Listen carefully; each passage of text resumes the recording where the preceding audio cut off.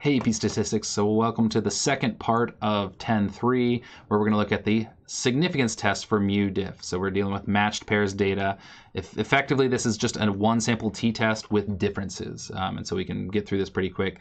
Um, our null hypothesis though tends to be, and when, our, when we did our one sample t-test before we'd have some mu equals some number that we were told. This one will very frequently be that there's no difference and so often you know we can have a difference equals a hypothesized value.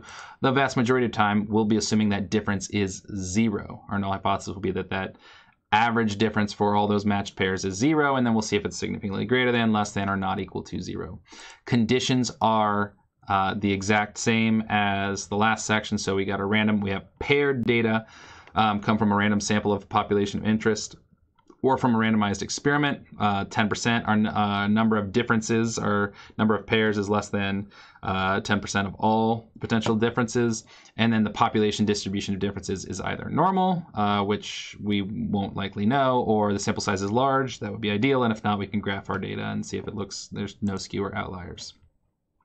So then here's what our t-test statistic looks like. We have x bar difference, so we see our mean of our sample differences, see how far that is from zero, and then divide by our standard error there, and get a t-test statistic. We ultimately calculate a p-value with the n minus one degrees of freedom. So let's jump right into an example. Researchers designed an experiment to study the effects of caffeine withdrawal. They recruited 11 volunteers who were diagnosed as being caffeine dependent to serve as subjects. Each subject was barred from coffee, colas, and other substances with caffeine for the duration of the experiment. During one two day period, subjects took capsules containing their normal caffeine intake. During another two day period, they took placebo capsules. Uh, the order in which the subjects took caffeine and placebo was randomized. So this is randomized, but they're doing, uh, the individuals are getting both treatments. And so we're going to look at the differences between them. Uh, at the end of each two day period, a test uh, for depression was given to all 11 subjects. Researchers wanted to know whether being deprived of caffeine would lead to an increase in depression. Uh, the table displays data on the subjects' depression test scores. Higher scores show more symptoms of depression. So their depression score with caffeine and their depression, uh, and here's their depression scores with the placebo. And this is just one person. One person, they got two different depression scores. You know, this person, they were more depressed with the placebo. So was this person, you know, and we, we'll see that throughout. You know, it looks like mostly there's, you know, they felt the difference. So we'll see if we can find significant evidence of that. All right, so do the data give the convincing evidence at alpha 0.05? Um, and so we, and then ultimately we're going to draw this conclusion for subjects like the ones in this experiment. So we've got these like two lists of data, but first, very first thing that we'll do is we'll turn those into differences and and um, uh, count of x bar for that. So our state step for this, uh, we're going to, our null hypothesis is that the, the difference is zero, and the alternative is that the difference is greater than zero, and they did placebo minus caffeine, say that placebo you know, uh, depression was higher for those individuals like this. So the true mean difference, placebo minus caffeine in depression test score for subjects like these. Um, so they actually was a significance level given of alpha 0.05, but you could make one up if you had to.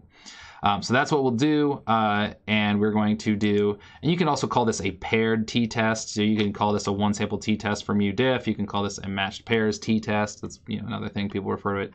Uh, same thing as people call the last one like a matched pairs t-interval whatever, it's all the same thing. But I'll, I'll tend to just call it actually a one sample t-test for mu diff. Uh, the conditions, so they randomly assigned treatments. This was not necessarily a random sample, but we did randomly assign the treatments, uh, the order of the treatments really um, placebo then caffeine or caffeine then placebo to the subjects.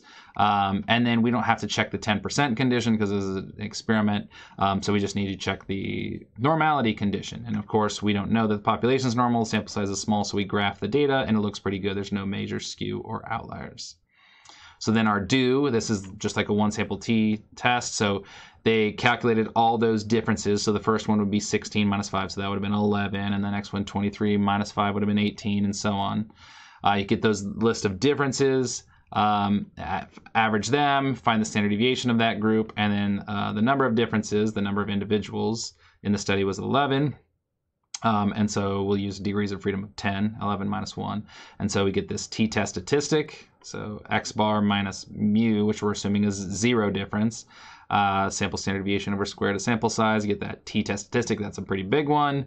Uh, we'll do TCDF, lower bound 3.53 up to you know infinity or large number with 10 degrees of freedom, and you get that for a p-value, which is real small. So because that p-value is less than uh, our alpha level of, oh, come on now, because our p-value is less than an alpha level of 0.05, we reject the null hypothesis. We have convincing evidence that caffeine withdrawal increases depression test score on average for subjects like the ones in this experiment.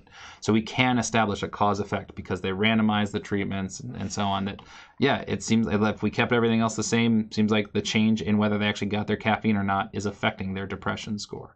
Um, so it uh, does you know caffeine withdrawal does increase depression for this. So need to be actually be able to draw some of those cause effect relationships from this. All right, so the last thing you need to decide is when should you do matched pairs and when do you not? So when do you do mu1 minus mu2 and when do you do mu diff? So two sample T procedures require data from independent random samples from two populations of interest or form two groups in a randomized experiment, whereas mu diff is for when you're dealing with matched pairs.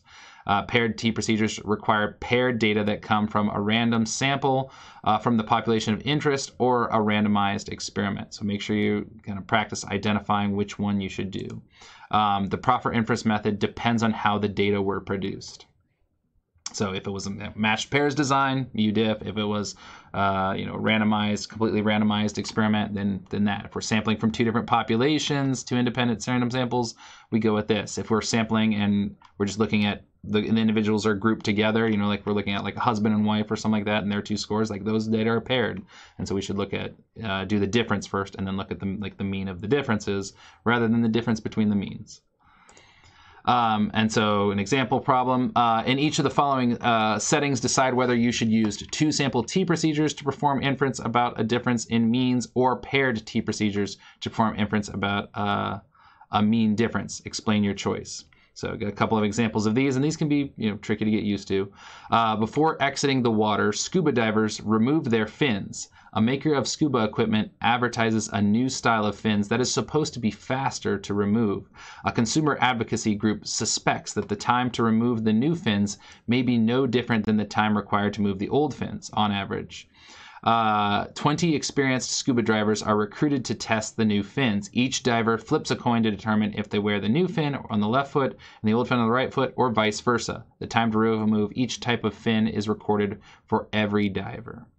So we just have 20 individuals doing it two different ways. Those data values are going to be paired because some people just might be faster than others, right? And even, uh, you know, so we'd rather look at their individual difference. And so paired T procedures, the data come from two measurements from the same variable, in this case, time to remove the fin, for each diver.